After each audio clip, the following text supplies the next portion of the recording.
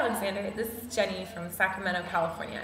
You play the role of Eric in a very understated way. Why is that? And what's the one thing that people don't understand about your character? All right, Jenny. I played the role of Eric uh, kind of low key because um, he's very confident and um, he doesn't have to be loud. Loudness is just loudness. It's not power, and and uh, he uh, he knows what he wants and how to get it. So he doesn't have to raise his voice. That's why he's very um, he's very focused and and plus I believe in that kind of acting in general. I, I think uh, and gestures too if you like too much uh, gestures or or too much loudness will just dilute the part uh, the way uh, water does good wine.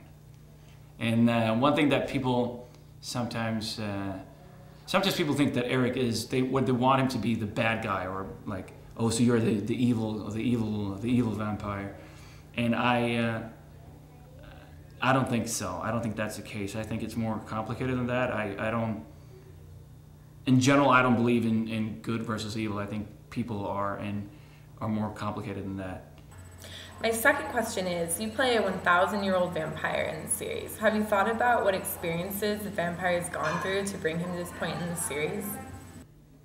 So, um, yeah, Jenny, Eric was born uh, a thousand years ago in, in, Sweden. He was a Viking back then. And, and um, obviously, when I was doing research, I was, you know, there's a lot to play around with, and it's kind of fun uh, as an actor to, to, there's a lot of opportunities. He's been around for a millennium, so um, first, we were kind of talking about having a, a strong Scandinavian accent, but I didn't want to go that way because I believe that since he's been around for so long, he probably speaks 20, 15, 20 languages fluently. So um, he's a bit of an entrepreneur. He's been around the world, and uh, and I believe that he's been in Louisiana for, for quite a while, uh, running um, different sorts of operations and businesses. And and but he's he's definitely he's, he definitely has a lot of lot, lots of experience.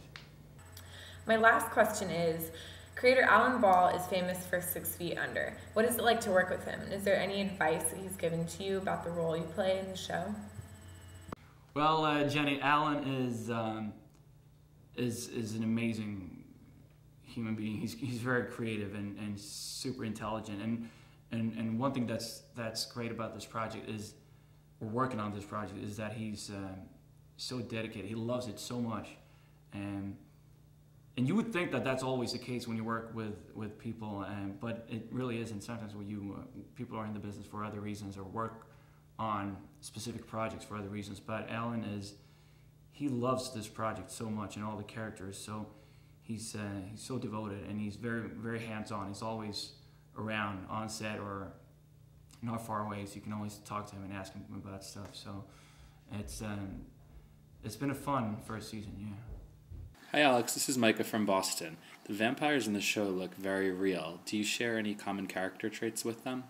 Yeah, Mike. I uh, I think I do. I, I believe that um, every I, I I'm always myself in a way when I when I when I um, when I act, and I believe that you have to um, it has to be born inside of you, uh, of you as an actor, and and I think that you, as a human being, you have all the elements of, of different characteristics, good and bad.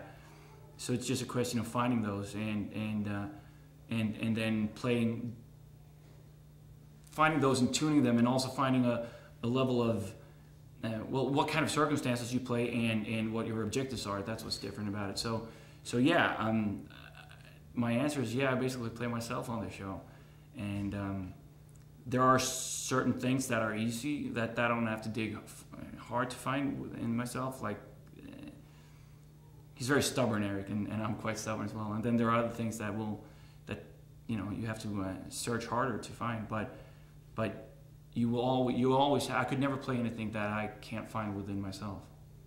My second question is there's a lot of sex and violence on the show.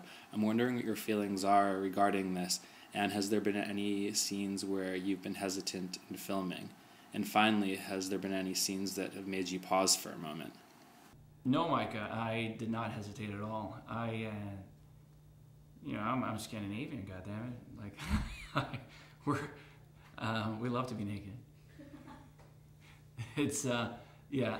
Actually, I, it was kind of liberating because I've done, worked on movies and stuff before where people come with contracts, 20 pages of like, you can show this nipple from this angle, but not that one, and two seconds of. I did not grow up in, in that kind of uh, movie climate, and it's quite different in Sweden. Um, so, uh, if I, I don't, I don't mind it at all. Nudity is great.